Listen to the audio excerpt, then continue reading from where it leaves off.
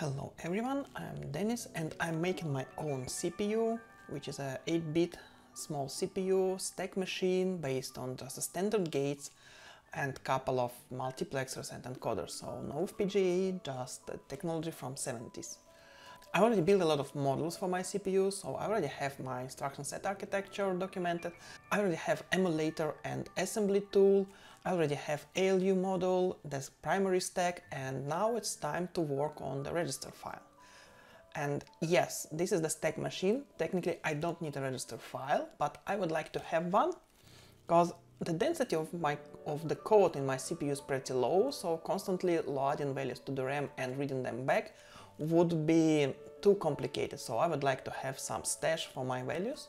So I plan to have a 15 registers register file. And I think it's time to start working on it. I have several commands which are operating those registers and my register file works into modes. The direct mode, like for storing values and reading values from the register file, and for the indirect addressing mode, when the value in the register file is considered to be an address in the memory, not just a value like a pointer.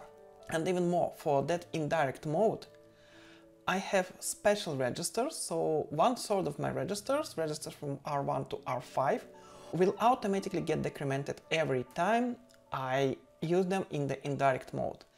And the upper sort, like registers R11 to R15, will be automatically incremented. I don't want to do those increments and decrements explicit in code, because I have just 256 bytes of program memory, and I would like to be able to do the typical tasks like reading sequence from the RAM or writing sequence from the RAM. So I need those uh, increments and decrements to happen automatically. How do I implement it? Uh, let me start a new circuit.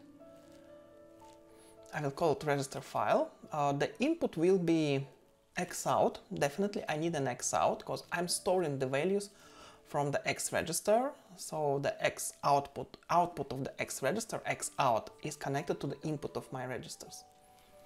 And opposite, I'm going to connect it to X in because I would like to update my X register from my register file. So on the input I have X out, on the output I have X in, both of them are 8 bits, plus I'm going to put another one output. I'm not using it right now, but I will need it in the future for the indirect mode address out. Having those outputs, I can start putting my registers. And uh, last time I discussed that there are two kinds of registers. Well, there are several kinds of registers, there are lots of registers, but in my case, uh, the main difference is that I ha may have some flip-flops and they constantly read their value on each cycle update. So you need to feed them a new value on each cycle or the storage registers uh, that only update their value when they are allowed. So they have a write enable input and if this input is set to zero, the value is stored, whatever value on the input is, or maybe there will be no in value at all. I'm going to use the second kind of those registers and in my physical implementation my registers will have output enable pin which I don't have for the Logisim register. So I'm going to simulate it by putting a pair of a register plus controlled buffer and I need 15 of those buffers. So I just pick up the register, I pick up the buffer and copy it and copy and copy and copy till I get 16, then I can remove the lower one. So that's my registers. Uh, I need to connect them and as all the registers can get the value from the X, I need to connect X out to the input of all my registers and vice versa. I need to connect the output like of my buffer, but technically of my register, back to the X in and to the address out in the future. That's how you make a register file. How do I control the register file? What should I do with it? Um, I have a register ID as a part of my opcode, like the register number from 0000 to 1111, 4 bits number that can address 16 registers. I already know that I have a circuit known as a decoder, so I can use like 4 to 16 decoder and I will feed my decoder with a register ID and connect all the outputs of my decoder to the write enable, except output number 0. I don't want my registers to react to the register number 0 because register number 0 doesn't exist at all. Plus, I need a second decoder. I need a second decoder for the outputs. So this way I can control both inputs and outputs and either connect uh, the proper register to the input or to the output based on the ID. One option is to use the AND logic and gates, but the better option will be to use the output enable pin of the decoder. So for example, if I would like to write something, I need to set a register ID plus enable the output of the right side decoder. Same for the read side decoder that controls just the buffers. And that's how you implement everything for the direct mode. Like you control two decoders for the write part and read part and you control the output of those decoders with the register ID and enable bits, which is like read and write. What should I do next? In direct mode. In direct mode is a little bit more complicated because in the indirect mode, if the register ID is 0, the address should be taken from the register Y, which means I need a Y input, like I need Y out as an input to this model, so it will be connected to the Y register, and I need to create some kind of a bypass, like if register is 0, the Y should be connected directly to the address bus, and the X out, but I don't care about it right now. Okay, what else do I have in my register file? I have those increment decrement operations and I need to somehow detect whether we are incrementing or decrementing. Actually, I need to decrement the value only for first five registers from R1 to R5, skipping R0. So I can go to the any online optimization tool and write a truth table like for first five values, skipping the zero value, it should return 1, otherwise it will be 0. And when the tool calculates the result, it will be 3 ANDs and 1 OR gate plus several nodes. Just re-implement that solved circuit manually. So I don't need to think how to do it. I just need to write a table and use the solver to give me the circuit for the, for the table. I will connect this circuit to the register ID, so all the time I have selected register between 1 and 5 inclusive, it will produce 1, otherwise it will produce 0. Uh, yes, it will make additions for the registers that shouldn't be touched, but we can just mask them later. What else? I have my decoders, uh, but I'm not neither reading nor writing, so I need to somehow bypass my um, read and write gates, like read and write output enables. If I have indirect op, so I need a new control pin indirect op, and I will just OR that control pin and direct op with both uh, read and write pins. So if I have indirect op, the selected register needs to be read and written simultaneously. And both of those inputs and outputs will be connected to my add sub model, which will be controlled by this control increment decrement control logic, so it will automatically get incremented or decremented. Well, that's almost it. I can jump to the add sub, but actually I would like to first add clock and reset. I discussed clock and reset signals last time in my previous video, but I will quickly repeat it. So I need a reset to reset the values of all my registers after power up.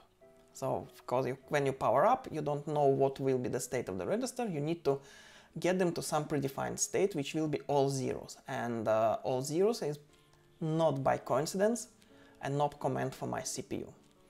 Uh, as for the clock, the reason is that signals don't propagate instantly and when you put some signal on the input of a circuit, you have to wait for the circuit to process your input and stabilize the output. And clock allows you to like wait for that.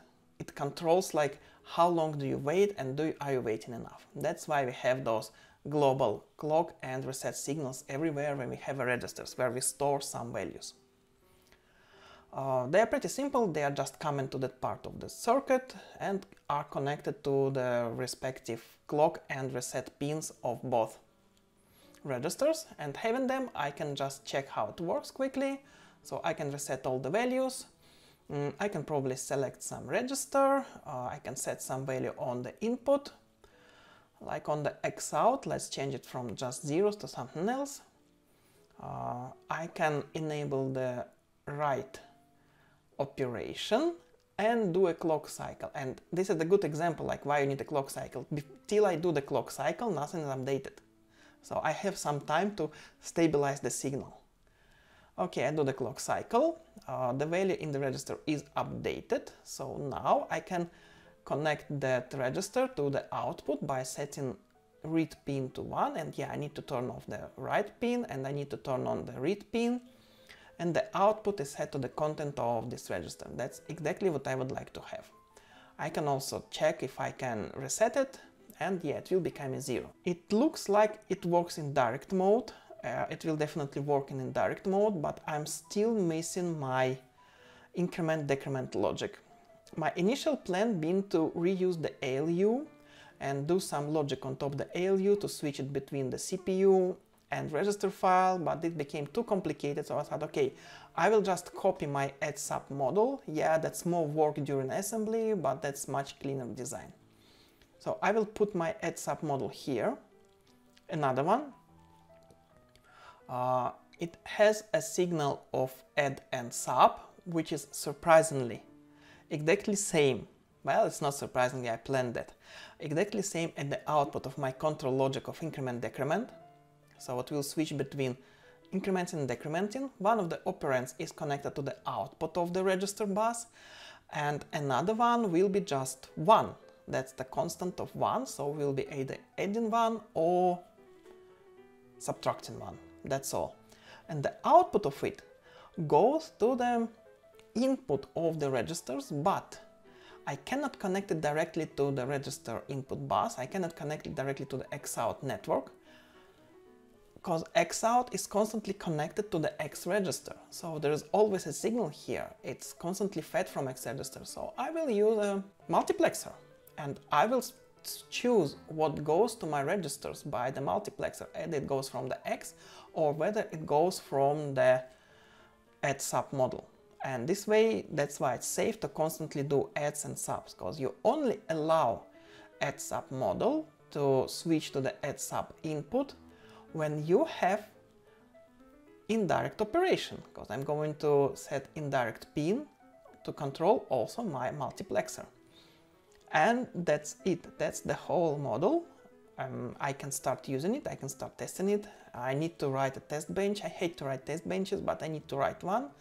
But that's not yet all. As initially I planned to have some logic on top of the ALU, my ALU is constantly pro producing uh, operation result, which is not it's supposed to do because it's directly connected to the X in bus right now. I planned it to be connected to some logic that will switch it and gate the bus, but I don't have this logic anymore. So because of this, I need to put a buffer, controlled buffer on the output of my ALU and control it with some kind of ALU operation pin. For example, I already have that pin in my oh, stack, oh yeah, in my primary register, in my stack register. I already have a pin like binary operation, unary operation, and ORing of those two operations gives you like just an ALU operation. So if this fourth signal, like fourth bit is set, I will enable the output of the ALU, like gating it or ungating it if needed. This way my ALU becomes safe to be connected to the